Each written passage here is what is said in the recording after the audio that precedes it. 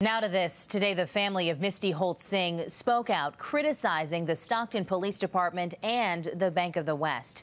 It's now been three months since the Stockton mother was taken hostage by three bank robbers and killed by police gunfire during a shootout with the suspects. CBS 13's Lee Martinez is live in Stockton where the family is demanding more answers and how the police chief's responding. Well, this branch of the Bank of the West planned to close the day after three armed gunmen came and took hostages. Now, we were told from the Singh family attorney that the bank corporate headquarters knew that this site was a frequent target of violent robberies, but its customers had no idea how dangerous it was. Three months ago, Stockton mother Misty Holt Singh lost her life after a routine trip to the Bank of the West. She was taken hostage while her daughter waited in her car.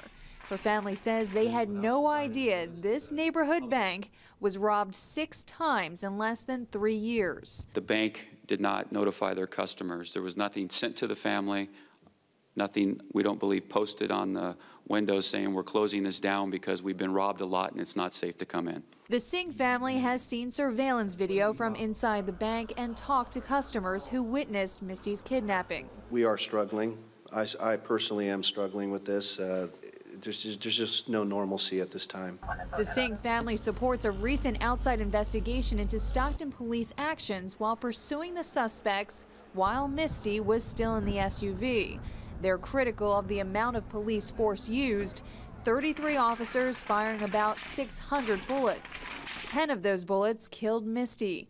The family wants to know which officers pulled the trigger and whether or not any of the involved officers are going to be prosecuted criminally. Police Chief Eric Jones says that part of the investigation is up to the San Joaquin County District Attorney.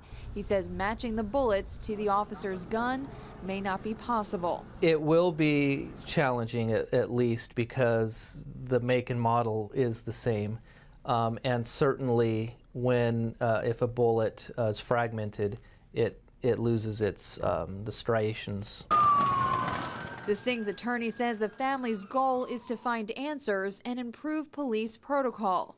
No lawsuit is planned. And just a few minutes ago, we did hear from the Bank of the West corporate headquarters in San Francisco, and they say that this bank branch had planned to close not because of frequent robberies, but because of a much larger strategy that the bank had. And they say that the safety and security of its customers and employees are its highest priority. Now, Chief Eric Jones says the independent investigation being conducted by the Police Foundation in Washington, D.C. will help determine if the police did anything wrong or if mistakes were made. Okay, Lee Martinez, thanks for that report.